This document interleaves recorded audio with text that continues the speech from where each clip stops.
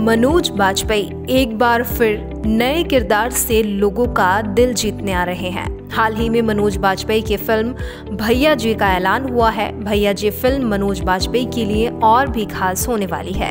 क्योंकि बॉलीवुड के 23 साल के करियर में मनोज बाजपेयी की ये सौवीं फ़िल्म होगी। बता दें, फ़िल्म भैया जी के निर्माता विनोद भानुशाली और समीक्षा शैला ओसवाल हैं। फ़िल्म को अपूर्वा सिंह कार्की ने डायरेक्ट किया है। अपूर्वा सिंह कार्की ने इससे पहले मनोज बाजपेयी की शानदार फ़िल्म सिर्फ़ एक बंदा काफ़ी है भी बना चुके हैं।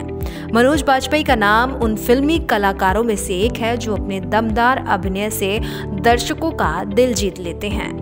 Manoj Bajpayee, the family man, Satya, gangs of Wasseypur जैसी कई फ़िल्मों में नज़र आए। गैंग्स ऑफ़ बासीपुर से मनोज बाजपेयी के करियर को एक अलग मुकाम मिला। मनोज ने बीते 30 सालों से इतने दमदार रोल निभाए कि उनकी एक्टिंग के दर्शक दीवाने हो गए।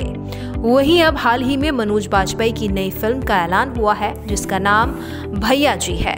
आइए एक नज़र फ़िल्म भैया जी के ट्रेलर पर भी डाल लेते हैं। फ़िल्म में मनोज बाजपेयी गले में गमछा लपेटे और हाथ में सिगरेट लिए दमदार देसी लुक में नज़र आ रहे हैं। अब देखना यह है कि मनोज बाजपेयी के इस लुक को दर्शक कितना पसंद करते हैं। बात करें फ़िल्म के रिलीज़ डेट की तो फ़िल्म के मेकर्स और डायरेक्टर मनोज बाजपेयी की फ़िल्म भैया जी को 24 मई 2024 सिनेमा घरों में रिलीज़ करेंगे।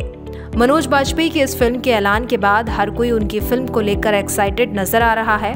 अब देखना है कि मनोज बाजपेयी की सौवीं फ़िल्म दर्शकों के दिलों पर राज कर पाती है या नहीं।